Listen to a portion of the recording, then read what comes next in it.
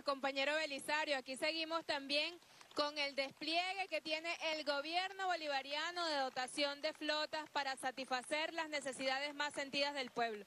Esa flota que acaba de despegar ahí es para llevarle alimentos a la comunidad a precios justos directamente del productor al consumidor. Y hoy estamos aquí con 19 voceros y voceros, voceras de los consejos comunales, mesas técnicas de agua, comunas, salas de gestión comunitaria del agua.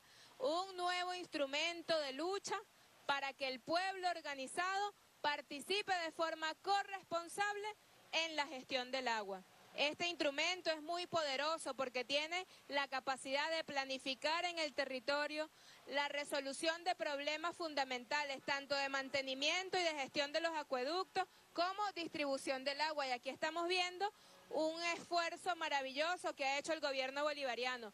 En estos tres años de gobierno del presidente chavista Nicolás Maduro Moro, ya son 800 camiones cisternas que se han llevado a la comunidad y que están al servicio de la revolución del agua, del plan de agua. Es una inversión de 50 millones de dólares. Aquí se encuentra con nosotros el camarada Ernesto Paiva, ministro de Ecosocialismo y Agua, y todo el equipo estadal que forma parte de esta estructura junto a la presidenta de Hidroven de gestión corresponsable del agua. Es una inversión, como decíamos, de 50 millones de dólares que van en estos 40 camiones cisternas